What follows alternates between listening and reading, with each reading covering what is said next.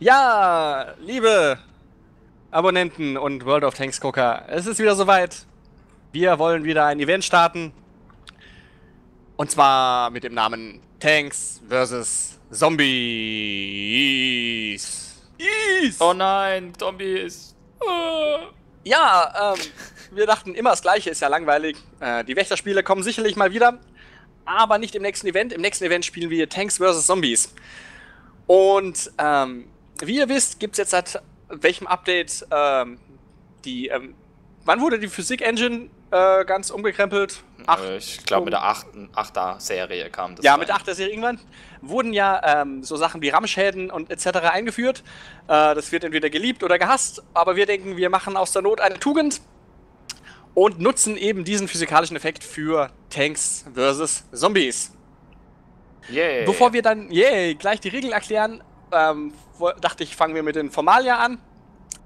Ähm, beim letzten Mal konnten ja leider nur zwei Leute. Äh, es wollten mehr mitmachen, die konnten leider nicht. Die, wie, wer war es? War das Starkiller, der nicht konnte? Der Jens Klaus. Der Jens, Jens Klaus, Klaus war es, der nicht konnte. Ja, Starkiller war dabei. Der war, dabei, der war dabei, stimmt. äh, deswegen haben wir uns überlegt, ähm, wir machen eine Doodle-Umfrage. Der Link kommt dann nach unten in die Beschreibung. Da tragt ihr euch einfach ein und äh, macht dann einen Punkt dahin, ähm, wo ihr glaubt, am besten spielen zu können, ähm, wo ihr am meisten Zeit habt. Ihr könnt auch mehrere Punkte da antippen. Wir genau. haben euch fünf Termine genannt und dann macht einfach einen Punkt hin. das heißt, ähm, wenn ihr an allen könnt, schon mal, wenn ich unterbrechen darf, dann auch alle eintragen. Ja, es geht klar. einfach darum, zu sehen, wo die meisten können. Und da wird dann der Termin hinfallen. Ja. Und wenn ihr nicht wollt, dass es öffentlich zu sehen ist, dass ihr so viel Zeit habt in der Woche und äh, keine Freunde habt, äh, keine Angst. Ähm, es läuft anonym. Nur wir können das Ergebnis letzten Endes sehen. Das heißt, ihr tragt euch einfach links in der Spalte mit eurem Namen ein. Oder euer Nickname ist auch okay. Und dann eben in den anderen Spalten, wann ihr könnt. Und dann verkünden wir in. Was sagen wir? Äh, warte, ich muss jetzt ich muss mal schnell gucken, wann der, der erste Termin ist. Ähm, sonst, sonst sage ich groß was und dann ja, halt, sagen wir mal, spätestens zwei Tage vorher, vor dem ersten Termin, spätestens da verkünden wir es. Ja, also der erste früheste Termin wäre der 17. Äh, da verkünden wir es. Also ja, dann könnt ihr, genau, dann könnt ihr bis, bis zum 15. Ähm, könnt ihr dann abstimmen, sagen wir mal so. Genau. Und, ja. Gut, ähm, ihr braucht für die Tanks vs. Zombie-Runde zwei Panzer. Es gibt einmal die Tanks, die dürfen Stufe 6 bis Stufe 10 sein. Und es gibt einmal die Zombies, die müssen Stufe 1 bis 4 sein. Ziel des Ganzen ist, dass die Tanks, die innerhalb eines bestimmten Zeitraums die Zombies zu Tode rammen. Es ist striktestens verboten zu schießen. Am besten lasst ihr einfach eure Munition zu Hause, denn ähm, ich habe das schon mal gespielt. Ich bin mal zufällig in so ein Custom-Game reingeraten. Fragt mich nicht, wie ich da reingeraten bin. Ähm, und wenn man dann hinter einem Panzer herfährt, der einfach so verdammt schnell ist und man kommt nicht dran, dann irgendwann, irgendwann kommt man dann immer in Versuchung, doch mal vielleicht auf die Kette zu schießen. Und das versaut das ganze Spielprinzip. Also deswegen ganz groß, ganz wichtig, die große Bitte, lasst einfach eure Munition zu Hause. So. Ähm, also wie gesagt, wir haben dann zwei Teams. Auf der einen Seite haben wir die Tanks. Da dürft ihr ein. Es muss, es sollte auf, es muss, anders geht es gar nicht, ein schneller, um, hochstufiger Panzer sein, ab Tier 6. Ähm, was meint ihr, Jungs, was, was kann man da als Beispiel nennen? Was, was äh, eignet sich? Ähm, da steht zufällig ein Leopard-Prototyp hier so rum. Leopard-Prototyp, ganz danke. Der zum Beispiel. Oder ähm, eine E50. Die E50, ich werde wahrscheinlich im AMX antreten. Ähm, und genauso gibt es halt auch auf die kleine ein paar prädestinierte Panzer äh, von 1 bis 4, zum Beispiel den BT-7 der Russen, den Panzer 1C der Deutschen. Ja, oder? Das ist der ja, ja, Panzer halt, den ja. T50 von den Russen ja, zum Beispiel. Also Geschwindigkeit, Geschwindigkeit, das ist das Allerwichtigste. Und Wendigkeit ähm, halt natürlich auch. Wendigkeit könnte auch mal gut brauchen, ja. Es geht eben darum, dass die Tanks die, Pan die Zombies zerstören und die Zombies möglichst lange überleben und ausweichen. Ähm, ja, deswegen ist es auch die Bitte, wenn ihr euch dann anmeldet für, oder nicht, nicht keine Anmeldung, sondern ähm, sagt, äh, welches Datum euch am liebsten wäre, macht bitte, wenn ihr einen hochstufigen, schnellen Panzer habt, ein T in der Klammer hinter euren Namen. Genau. Denn je mehr hochstufige Panzer haben, desto mehr Runden können wir spielen, da wir Teams bilden. Es werden voraussichtlich, weil ich so meistens ja nicht so viele können, Zweier-Teams sein. Also zwei Tanks immer gegen die, den ganzen Rest, die dann Zombies sind. Und dann gibt es eben Punkte zu sammeln. Uh. Lasst mich mal schnell. Süße, süße Punkte. Süße Punkte, ja. Ja. ja, als Beispiel nochmal, während hier der Mund Danke, abzucht, ich muss kurz, ähm, kurz mein Skript durchsehen, ja. Ja, ja, genau. Ähm, also als Beispiel, wenn ihr euch dann die, die Doodle-Umfrage, die in der Beschreibung ist, ähm, dann drauf geht, wie gesagt, die Termine eintragen, die ihr könnt. Wenn ihr alle könnt, wunderbar, dann tragt auch einfach alle ein. Wenn ihr euren Namen hinschreibt, zum Beispiel, wenn jetzt ich das wäre, dann würde ich halt reinschreiben Ray und in Klammer würde ich dann halt reinschreiben T. Ob das ein kleines oder großes T ist, ist egal. Äh, und ähm, somit bestätige ich halt, dass ich einen schnellen, großen Panzer habe. Ich kann nicht, glaube ich, damit protzen. Ich habe einen Leo-Prototyp, ich habe einen Leo 1, ich glaube, eine E25 könnte man da auch noch dazu nehmen. Also, wenn ihr halt einen größeren Panzer ab Stufe 6 habt. Ähm, kleine, schnelle Panzer, Panzer, wird jeder irgendwie haben. Ähm, die sind ja auch relativ schnell zu erspielen. Ähm, ja, das war es eigentlich. Wie gesagt, ja, von Tier 1 bis 4 die kleinen, von die großen von Tier 6 bis 10, Tier 5 gibt es gar nicht. Also, dann Trophy gibt's nicht. Trophy gibt's nicht, nein, den, den, den wollen wir nicht. äh, den, gut. Ähm, zur Punkteverteilung. Also, ja, ihr könnt großmassig Punkte sammeln als Tanks. Das ist eure Hauptrunde ähm, zum Punkte sammeln. Denn ihr bekommt durch jeden Panzer, den ihr durch Rammen zerstört, einen ganzen Punkt. Zusätzlich gibt es extra Punkte für jede volle Minute, die noch übrig ist, nachdem alle Panzer zerstört sind. Aber auch die Zombies können Punkte sammeln. Und zwar gibt es für jeden überlebenden Teamkameraden drei Punkte. Uh. Okay, das heißt, wenn man sich gegenseitig irgendwie hilft, was schwierig wird, aber. Ja.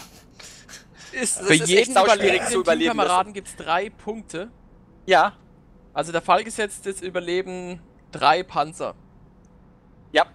Kriegt jeder wie viele Punkte?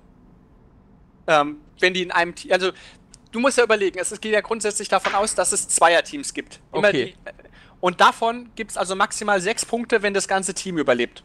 Ja, okay. richtig. Also ja. auch die Zombies sind Zweierteams. Ja, ganz genau. Okay. okay. Solltet ihr es sogar schaffen, einen Tank zu zerstören als Zombie, gibt es ganze sechs Punkte für das Team extra.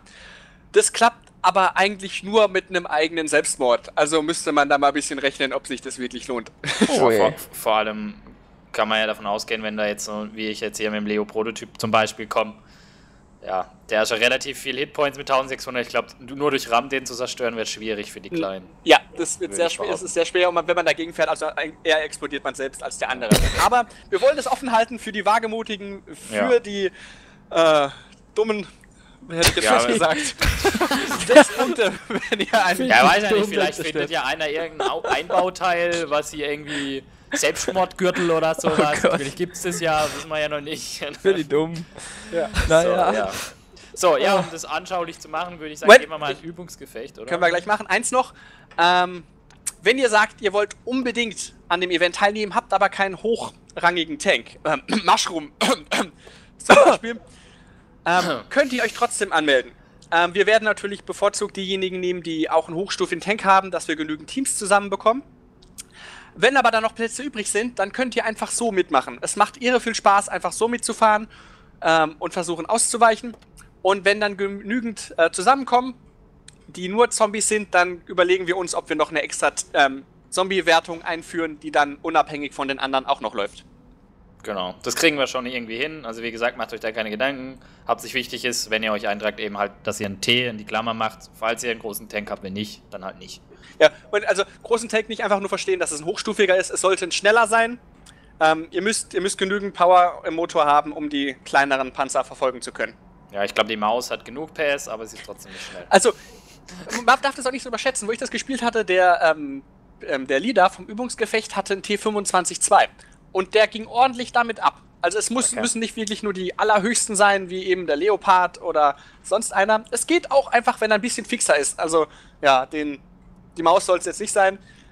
lustigerweise war aber da auch einer dabei, der hat eine Atti genommen und trotzdem Kills gemacht. Ich habe keine Ahnung, wie er das geschafft hat. Okay. Ja, siehst du mal. Also, alles möglich, neue Bedingungen hier in World of Tanks und wir machen jetzt einen Übungsraum, um euch das einfach mal zu zeigen, in, kleinen, in einer kleinen Version. Wie lang geht denn so ein Gefecht? Ja, das entscheiden wir dann, wie viele Leute mitmachen. Ähm, okay. Dem unwahrscheinlichen Fall, sagen wir mal, dass ähm, 17 Leute mitmachen, dann haben wir zwei Tanks und 15 Zombies in der Runde, dann müssen wir es natürlich länger machen. Okay. Äh, jetzt in diesem Fall 10 Minuten, oder? 10 Minuten reichen 10 Minuten. vollkommen. 10 Minuten erstellen, nur mit Einladung, dann lade ich euch mal ein. So, der Starkiller nicht, der weiß nämlich nicht, was wir hier treiben. Das, der darf dann mitspielen, wenn es soweit ist. Geheim. So. Kommen da noch die Leute schon? Ich habe jetzt einfach mal Ends genommen, weil ich glaube, kleinere Maps sind irgendwie besser. Gehe ich da ja, richtig? Ja, äh, ja, die können sich halt nicht so weit verstecken. Ensk ist zwar von der Größe gut, aber es kann auch ein bisschen wegen der Verschachtelung doof sein. Ja, dann zeig mir eine andere Map. Nein, nein, ist gut, nee, lassen das. Ist, das, das also okay. Machen wir das einfach so. Ansonsten, was auch immer ähm, gut für äh, ist, ist, sind offene Maps, ganz ohne Städte. Die sind zwar meistens größer, aber dann können sich die wenigstens nicht so gut verstecken. Okay. Ja, gut, dann spielen wir mal. Ich muss euch jetzt einfach rammen. Wie gesagt, Schießen ist für beide nicht erlaubt. Und dann ja. gucken wir einfach mal, wie, ob, wie, wie, viel Spaß es tatsächlich macht.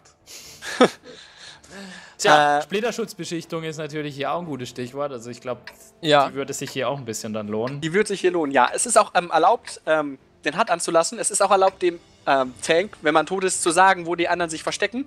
Denn es soll wirklich darum gehen, dass ihr äh, mit Schmackes über die Strecke fahrt und nicht euch einfach in irgendeinem Hauseingang versteckt. Okay, das heißt, das Spoilern ist voll erlaubt. Ja. Das heißt, Mushroom, komm, Sag mal Bescheid, wo die anderen sind. Dann verschone ich dich. Nein. Du glaubst ja selber nicht, dass du ihn verschonen würdest. So. Bewegung! Bewegung! Zombies! Müssen sterben! ja, ja ähm, wie ihr seht, wir haben jetzt einen BT-7, Panzer 3A und einen BT-2. Ähm, den Panzer 3A, Fabian, ist das dein Ernst? Da ist jetzt nicht gerade. Ja, ich durfte meine E50 nicht nehmen, die andere Rolle zu spielen, ja. dann muss ich halt den schnellsten Panzer der Stufe nehmen, den ich besitze. Lame nennt man sowas. Ja, also ich habe zum Beispiel den BT-7, das ist ein klasse Panzer für das Spiel, das hab, den habe ich damit auch gespielt. Der ist ziemlich fix, ähm, ist auch ziemlich wendig oh, und ist als Tier 3, den kann man sogar sich mit freier Erfahrung locker holen, das ist kein Problem. Oh shit, oh, großer Fehler. Ah, ja, einnehmen dürft ihr aber nicht, oder? Ja, genau, das meinte ich mit großen Fehler. Ich wollte da gar nicht durchfahren, damit weiß wo ich bin. Nee, natürlich einnehmen ist nicht erlaubt. Ah, das wird genauso hart bestraft wie abschießen. Okay. Nämlich mit minus 10 Punkte, oder wie? Äh, beim, ja, das muss ich noch gucken. Äh, das mache ich willkürlich. oh shit. Kann ich da? Oh nein, oh nein, oh nein! Macht tatsächlich Spaß. ja. Oh, shit. Ich habe gedacht, ich komme da noch rum. Ja. Äh, macht das Spaß. Also ihr seht, Drecksack ist, hockt der ganz weit hinten da, weißt Verrat ja. mich doch nicht! Du Alter, ich verrate dich mal ganz klar. Du bist bei K2, K2. ja. Und du bist bei B2, Bin ich Freund. nicht. Aber ganz klar. Er glaub, lügt doch nicht. Fager lügt. Und er ist bei C1. Er lügt. Und bei D1. Lüge. Absolute Lüge. Und D1. Ja, und ihr dürft auch nicht wirklich unterschätzen, also ähm, wir fahren ja mit maximal Vierer. Wenn ihr dann einen Sechser habt, einen schneller. Ich habe zum Beispiel auch zwischendurch dann mal mit der Hellcat gespielt. Da, da fährt er gerade vorbei. Die ist, die ist nicht so wendig, aber auch ziemlich fix. Ähm, das macht schon ordentlich Schaden man nimmt selbst nicht keinen großen Schaden dabei. Also auch wenn ihr einen schnellen Sechser habt, ähm, reicht es vollkommen, um ordentlich spielen zu können. Also eine Hellcat ist auch auf jeden Fall okay. Ja, also die, die, ja. sie ist ein bisschen schwer, schwer zu handeln, weil sie natürlich als Panzerzerstörer nicht so wendig ist. Von der Geschwindigkeit passt's, aber auf so engeren Maps wie diesen hier hat sie halt klare Nachteile. Fabi, verpiss dich!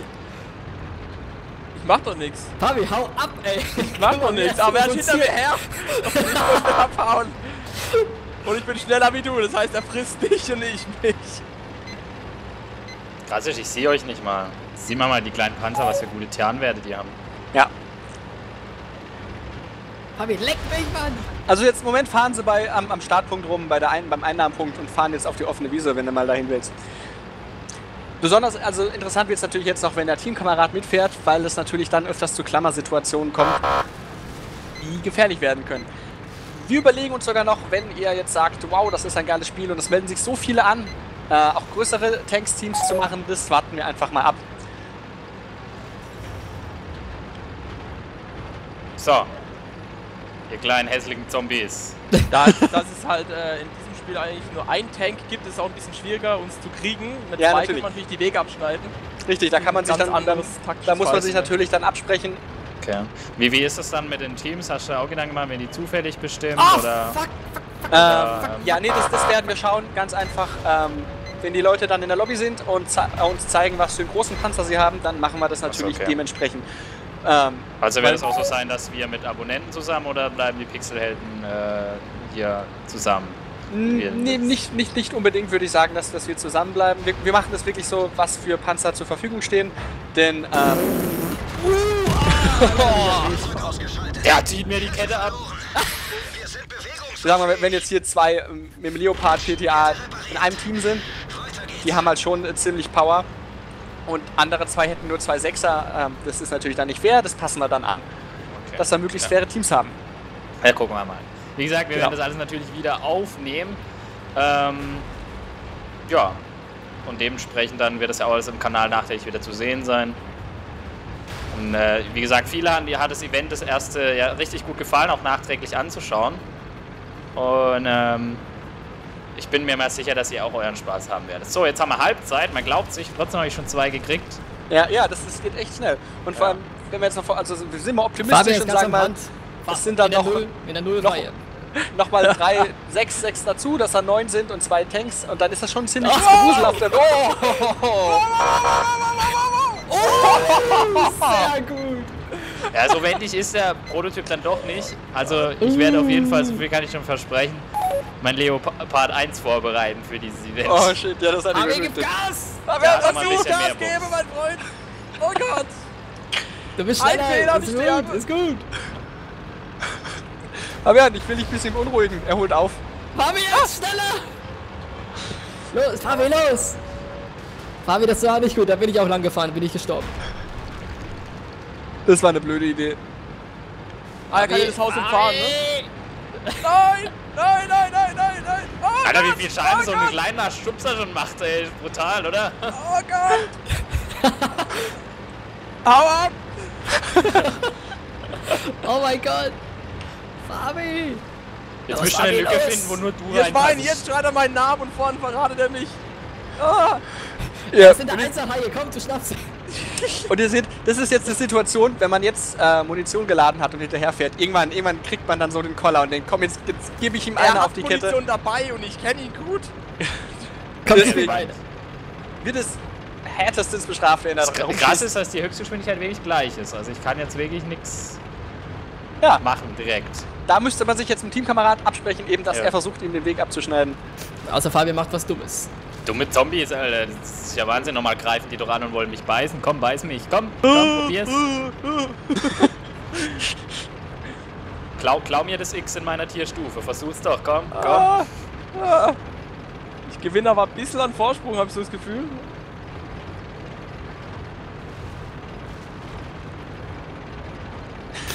Da Oh drei yeah, Minuten Fabi, noch. komm. Ja, Oh, er- okay. Er, macht, Das er war ja klar. Genau. Das, hab- das habe ich auch gerade gedacht. Einfach erstmal. Hätte ich ihn vorher noch einfach gleich gekriegt in der Kurve, ey. Hammer. Ja. Er ist jetzt in diesen Hofeingang reingefahren und ist jetzt bei H Ihr elenden Zwei. Verräter. und fährt jetzt nach außen und dreht und fährt Er jetzt fährt auf der, äh, ein, auf der eins- Einserlinie eins- fährt er wieder hoch. Zwei, bla, Eins. Bla, bla, Nach bla, oben. Bla, bla, bla. Jetzt gleich kommt er weiter da bei nach dem oben, Richtung bei F. Ich bin bei, bei äh, G. Nein, das war 1E. H2. 1D. 2C. 2B. 3B. Das ist so assi. Ja, aber ist ja gut so. 4C. Ja, bei deinen Noch 5C. Jetzt 5D. Und Oh! Fuck, fuck. Wow. Das gibt's ja nicht! Alter. Fabi, für diese Momente kriegst du ein Lob von mir. Der große Deutsche jagt den kleinen Deutschen. Ist es nicht immer so? Eineinhalb Minuten noch, das gibt's doch nicht, ey. So viel zu Scheißpanzer, ne? Ja, Ja. so zu Scheißpanzern, aber echt, ey. Den kannst, echt, den kannst du im Event benutzen einfach. Der ist gar nicht mal so schlecht, der ist verdammt wendig irgendwie. Ja. Ja, So. also ihr seht, es weder, Der weder Leopard, was sind, die, wieder? sind die Zombies übermächtig, noch sind die äh, Tanks übermächtig. Also wenn man sich gut anstellt, ähm, kann man echt überleben. Und wenn die ähm, Tanks zusammenspielen, dann holen die auch Er ist mal bei alle weg. 5F. Komm, noch eine Minute 20 Sekunden, das wird- wird doch zu machen sein. 5H. 4H. Ja. Ich bin bei Jetzt 3. Ja. Ja. Jetzt fährt er wieder Richtung der Einserlinie Er ist wieder Richtung 1. und fährt nach oben 1 wieder. wieder. H1, ja, und gleich kommt er zu G1. Und fährt wieder hoch. Er fährt wieder stur hoch.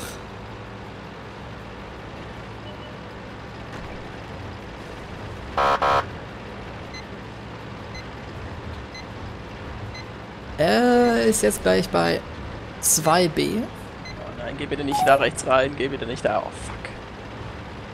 Oh fuck. Oh fuck. Nimm ihn! du, Fabi! Du, Noch eine halbe Minute. Perfekt gemacht, ey. Ich hab's aber auch nicht richtig gesehen, weil da so ein Busch im Weg Das war. war Risiko, das war Risiko. Oh, das war echt. Ja, also wie ihr seht schon, es macht eine Menge Spaß und wenn wir da ein paar Leute wären, vor allem wenn wir dann noch zwei, Ja, wenn es halt, richtig- ist mit dem Absprechen dann auch deutlich besser, ganz klar. wenn's halt richtig wuselt auch, dann hast du auch einfach mal zufällig einen vor die Flinte, der dann irgendwie aus dem Hauseingang rausfährt und du Genau. nimmst den Fall mit. Also. Genau. Oh, hat's, hat's geschafft. Wahnsinn. ja, wie viele Punkte würde ich jetzt kriegen? Ich habe zwei zerstört, zwei Punkte und Genau. Fabi hat überlebt, kriegt drei Punkte. Ja. Somit. Okay. So, Faire genau. Verteilung eigentlich, kann man sagen, ist okay. Ja, ist. ja, dann habt ihr hoffentlich schon mal einen kleinen Eindruck bekommen, was euch in dem Event erwartet. Also ich habe es jetzt auch zum ersten Mal gespielt, muss schon sagen, hier in der kleinen Testrunde hat es richtig Spaß gemacht und ich glaube, das habt ihr auch gesehen, dass das richtig Spaß machen kann. Deswegen wünschen wir doch, dass viele mitmachen äh, und dass ihr auch diese Gaudi miterleben könnt. Wie gesagt, tragt euch bitte ein in Doodle, äh, wann ihr könnt. Wenn ihr alle Termine könnt, natürlich wäre perfekt. Dann tragt euch einfach für alle ein und wie gesagt in die Klammer ein T, sofern ihr ein äh, Tier, äh, einen Tank ab Stufe 6 habt, was ein bisschen schneller, ein bisschen Power hat. Und ja, das war's dann eigentlich für dieses äh, Video. Und ähm, ja, dann sehen wir uns doch hoffentlich rechtzeitig beim schönen Termin beim Event wieder. Und dann verabschieden wir uns. Bis dann. Tschüss. Macht's gut, Tschüss. ciao. Ich hab überlebt! Verdammt.